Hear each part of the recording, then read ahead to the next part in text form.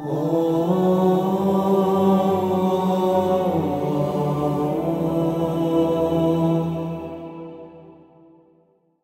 الله الرحمن الرحيم.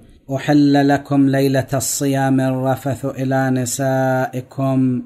هن لباس لكم وأنتم لباس لهن. علم الله أنكم كنتم تختانون أنفسكم فتاب عليكم وعفى عنكم. فالآن باشروهن وابتغوا ما كتب الله لكم وكلوا واشربوا حتى يتبين لكم الخيط الأبيض من الخيط الأسود من الفجر ثم أتموا الصيام إلى الليل. ولا تباشروهن وأنتم عاكفون في المساجد. تلك حدود الله فلا تقربوها. كذلك يبين الله آياته للناس لعلهم يتقون. في هذه الآية المباركة الله تبارك وتعالى يبين بعض أهم أحكام الصوم. بعد أن بين في الآيات السابقة أصل وجوب الصوم وأقسام الناس بالنسبة إلى حكم الصيام. أحل لكم ليلة الصيام الرفث إلى نسائكم.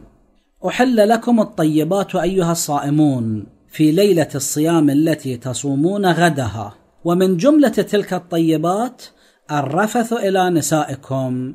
بمعنى الانتهاء إلى الزواجات بالمباشرة. هن لباس لكم وأنتم لباس لهن. الزوج والزوجة كل واحد منهما بمنزلة لباس الجسد للآخر. وهذا التشبيه جميل جدا يحتوي على أمور دقيقة. الأول اللباس يستر عيوب الجسم. كذلك الزوجان يستر كل واحد منهما الآخر فيعطيه حاجته بالحلال فيمنعه عن الفجور. كما يغطي على عيوبه فلا يبرزها. لذا شبه باللباس. كما أن التقوى أيضا شبهت باللباس فإنها تستر العيوب النفسية والخلقية والعملية. فيقول تعالى ولباس التقوى ذلك خير. الثاني اللباس جمال للإنسان كذلك الزوجان كل منهما جمال للآخر. الثالث اللباس محرم على الإنسان فيلاصق سوءته ويسترها. كذلك كل من الزوجين محرم على الآخر. الرابع عدم استغناء الإنسان عن اللباس في الغالب. كذلك الرجل لا يستغني عن المرأة والمرأة لا تستغني عن الرجل. وفي هذا التشبيه اللطيف دلالة على أن كلا من الزوجين مكمل للآخر. الزواج مو مجرد معاملة مو مجرد التذاذ بل الزواج في القرآن يعتبر من أرقى العلاقات الإنسانية. فالزواج سكن النفس وإطمئنانها ومودة ورحمة بين الزوجين وأحدهما يكمل الآخر وتكون المعاشرة بينهما بالمعروف. لذا من أهم العلاقات في الإسلام العلاقة الزوجية. علم الله أنكم كنتم تختانون أنفسكم. تختانون من الخيانة يعني كنتم تخونون أنفسكم بارتكاب المعصية لأن المرتكب للمعصية يخون نفسه إذ يسبب لنفسه الخسارة. لأنه ينقص حظ نفسه في الآخرة. هذا شأن كل خائن اللي يسبب خسارة لمن يخونه. فتاب عليكم وعفى عنكم. تاب الله عليكم. حيث كنتم ترتكبون المحرمات. وعفى عنكم. يعني عفى عن هذا الحكم بنسخه. فأباح المباشرة في ليالي شهر رمضان. وأباح الأكل والشرب طوال الليل للنائم ولغيره. ففي الحديث عن الإمام الصادق عليه السلام وكان قوم من الشباب ينكحون بالليل سرا في شهر رمضان فأنزل الله عز وجل أحل لكم ليلة الصيام الرفث إلى نسائكم.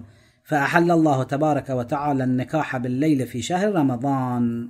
وفي الحديث عن الإمام الباقر أو الصادق عليهما السلام نزلت في خوات بن جبير الأنصاري وكان مع النبي صلى الله عليه وآله في الخندق وهو صائم فأمسى وهو على تلك الحال. وكانوا قبل أن تنزل هذه الآية إذا نام أحدهم حرم عليه الطعام والشراب.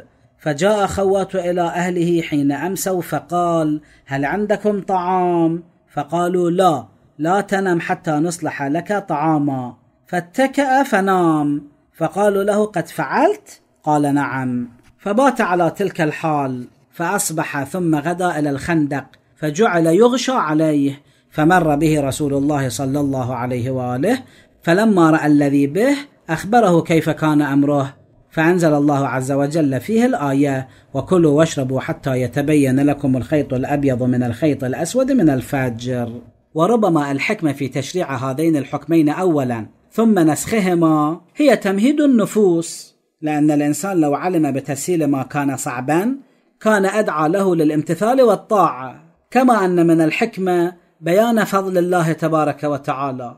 ومن الحكمة أيضا بيان عملي لسهولة الشريعة وسماحها كما أنها تبين خيانة بعض الصحابة وضعف نفوسهم ليكون سببا لتهذيبهم للنفس ولعلهم يتقون.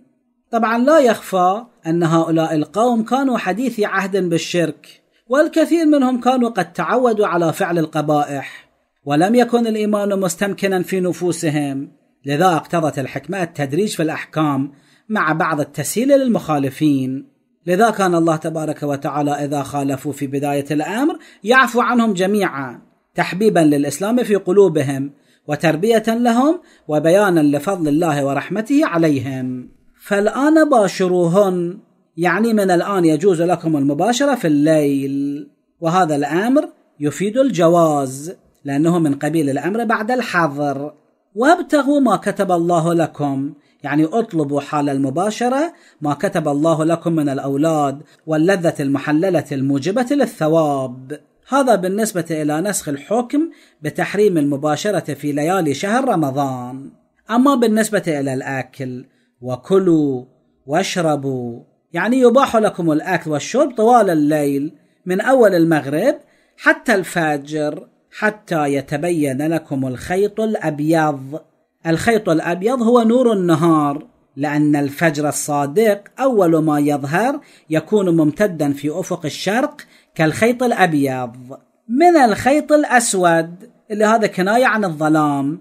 من الفجر يعني هذا الخيط الأبيض إنما هو من الفجر يعني يتضح الفجر الصادق الذي هو في وسط الظلام كخيط أبيض قرب خيط أسود.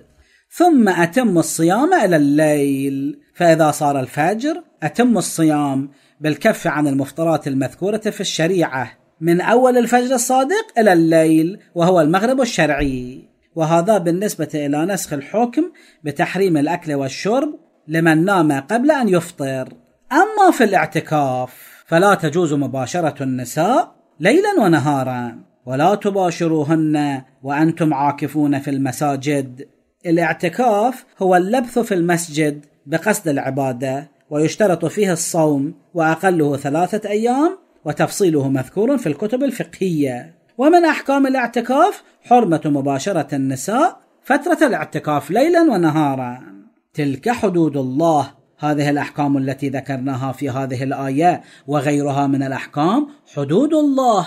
التي جعلها لأفعال العباد فلا يجوز اقتحامها مثل حدود المدينة والدار اللي تمنع دخول الغير فيها. فشبهت أحكام الله تبارك وتعالى بالحدود فمن عمل بها دخل في حيطة المؤمنين ومن تعداها خرج عن ربقتهم. فحدود الله تبارك وتعالى هي حرماته ومناهيه فلا تقربوها. هذا نهي عن الاقتراب. وهو مبالغة في النهي عن الاقتحام والمخالفة مثل قوله تعالى ولا تقربوا مال اليتيم إلا بالتي هي أحسن كذلك يبين الله آياته للناس. يعني مثل هذا البيان الواضح الذي بين أحكام الصيام وغيره يبين الله آياته للناس ويبين دلائله وأحكامه. فإن هذه الأحكام دلائل على الله تبارك وتعالى وعلى حكمته وعلمه لعلهم يتقون. لكي يتقوا المعاصي لأنهم يرون آيات الله